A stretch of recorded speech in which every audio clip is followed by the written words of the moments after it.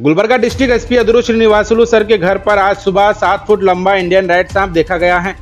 SP Aduru Srinivasulu sir के घर पर इंडियन रेड सांप दिखाई देने के बाद इसने कैचर प्रशांत पाटिल को बुलाया गया और प्रशांत पाटिल ने जहरीले सांप को पकड़कर शहर के धूल छोड़ने का काम किया है।